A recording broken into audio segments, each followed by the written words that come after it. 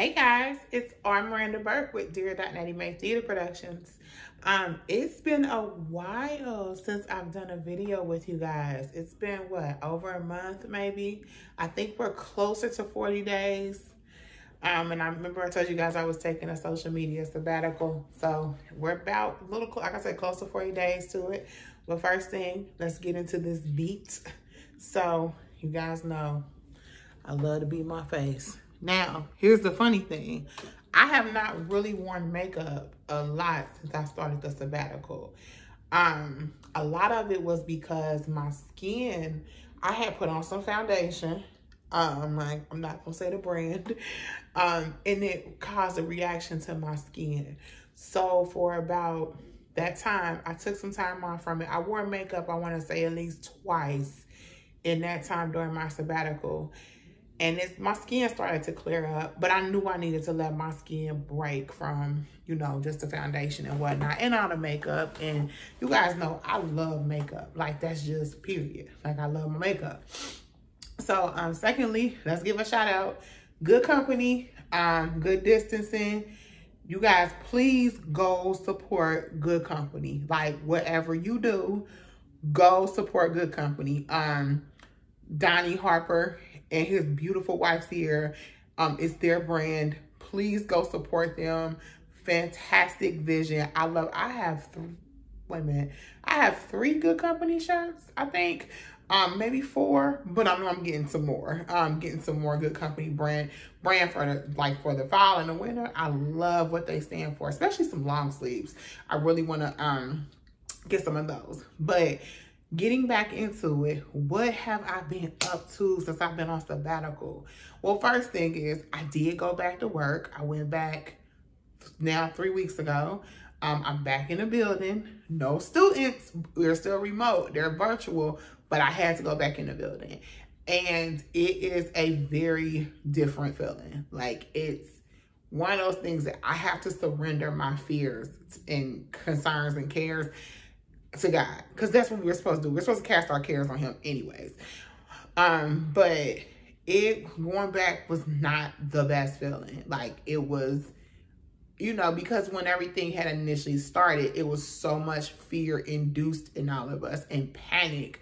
Like we have to shut everything down. And you know, when you go into that mindset and then you're asking people to go back to normal as much as possible, it, it's a hard reality. So I'm not gonna lie, it had it had been really hard. It was a really hard adjustment.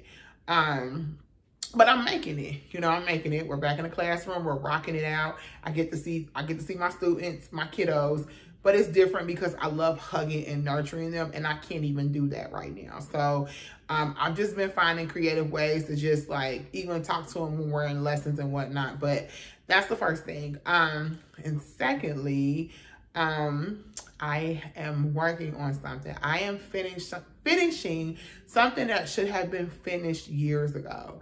So I'm very excited because I'm take I've taken a leap of faith to do this um my close circle knows what it is and I'm so grateful because I didn't think I would get this opportunity to finish it again. I was already so close to the finish line. I didn't realize how close I was to the finish line.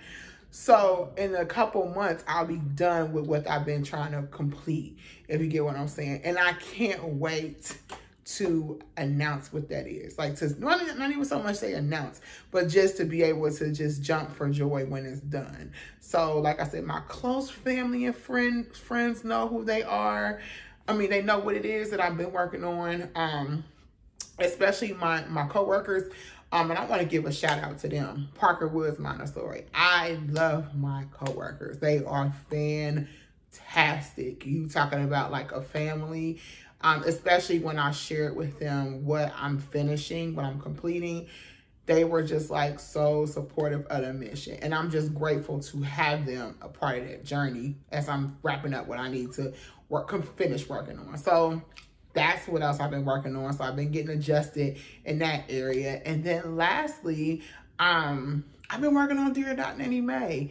Um, as you guys know, like I said, we had we were working on No Ordinary Love early at the top of the year, and then COVID said, "No, ma'am, you're not putting on a stage play."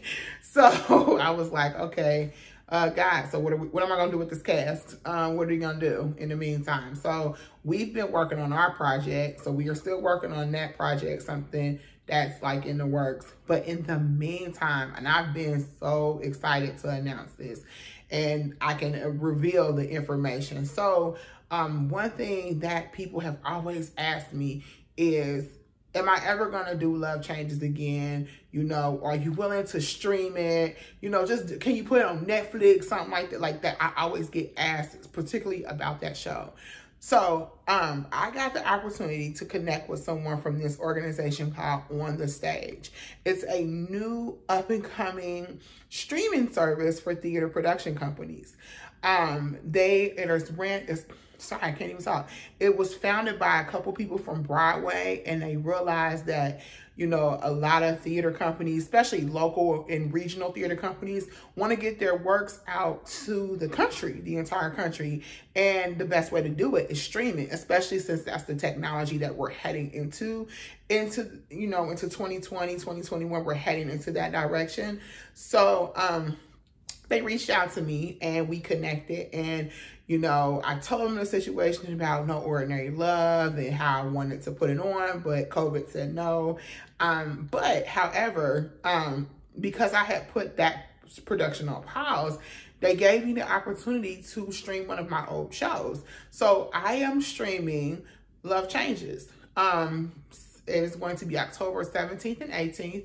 And it's only, us, it's only, we're only asking for $10. So you can just pick a night and for $10, you can watch Love Changes. Um, the cool thing about this is you're going to hear from some cast members and crew members, people who were a part of the experience. And I don't, you know, I don't know who's able to be a part of it. You'll find out as we get closer. Um, they're going to like share their experiences of the journey that they were a part of with Love Changes. And I always brag on Michelle. That's like my baby, you know, and I don't try to have favorites. Each one is a baby, but that one is a different baby because that's the first stage play I ever wrote. And so it's near and dear to my heart. So you're going to get to hear from a couple cast members, a couple crew members of their experience of being a part of that journey. And I'm extremely, extremely excited about that happening. So again, mark your calendars for October 17th and 18th. So it's that Saturday and that Sunday. Um, it is going to be just a little conversation and it's going to be immediately following after Love Changes. So you'll get to see the play, but you'll also get to hear us speak on um our experiences with love changes. Um and all the and those proceeds will go towards our new project that we have coming up in 2021 so that's where we'll be going. Because you know i don't know if you guys know but the theater world really really got hit hard like it got really hit hard. Like our whole world had stopped. Even though like other things opened up like um restaurants and like I'm trying to think what stores and whatnot, like other things opened back up, but for the theater world, we had to be on pause and in the dark. Like Broadway is not even going on for the rest of the year. They won't be going on until 2021. We've had to find creative ways to still move and shake. So if you're a huge fan of that show, please go check it out. I will have the website up for it next week. I will have the information for tickets. All of those things will be up on Monday, the 12th of September. So make sure you go spread the word. word. Um, we're very excited about this experience. So yeah, but that's really all I've been up to. Like I said, it's been a lot, but it's been a good lot. Um, how do I feel about social media after being off of it for almost 40 days?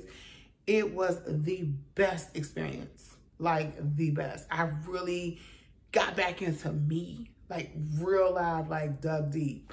So, um, am I gonna be on social media again like that? Uh, no, because I like I love my time. Like my time management was so different. I didn't realize how much I was in my phone. Like I really didn't. So like when I started the um when I started the sabbatical from social media, I had basically like I think it was like a week prior, I had set my screen cutoff times on my phone. And at one point, I was on my phone so much, I like I had no clue. Within that first week of me setting the screen times, I had cut my phone time down, I think by like, I think I said like two hours or something because I was on social media so much. And then once I cut off my social media, my screen time dropped to 50%. And it's been low ever since. So it showed me where my time was. So, you know, I'm still going to post certain updates and things regarding Dear.Nettie Mae and stuff. But as far as like me, eh, you probably won't see me as much. So, because like I said, I'm working on some things. I'm trying to finish some, finish a race that I had started years ago. So I'm so grateful. But make sure, in the meantime, make sure you follow us on Facebook, Dear.Nettie Mae Theater Productions, Instagram, Dear.Nettie Mae Official. We have a YouTube channel, Dear.Nettie Mae Theater Productions on YouTube. Go like and subscribe that to that channel. That's where you will get all of our updates, our announcements, everything that's going on in Dear Dear.Nettie Mae's world. So, but thank you so much for supporting me and my brand and my vision. I'm eternally grateful for that. And I look forward to seeing you guys very soon. Bye, guys.